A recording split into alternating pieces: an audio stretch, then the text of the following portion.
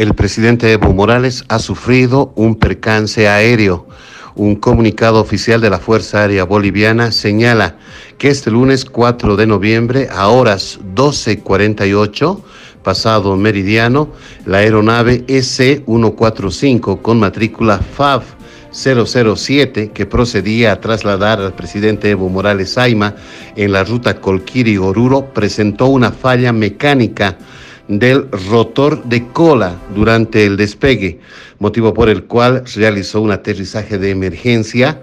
No se registraron daños personales, señala el comunicado oficial de la Fuerza Aérea Boliviana, que además ha destacado que como es rutina y norma, se ha activado una junta investigadora de accidentes. Según testigos del lugar, al menos 10 metros habría descendido la aeronave, el helicóptero que trasladaba al presidente Evo Morales. No se registraron, reiteramos, daños personales. Evo Morales había participado hace minutos nada más antes de este incidente aéreo en la apertura de la carretera Caracollo-Colquiri cuando se procedió este lamentable suceso.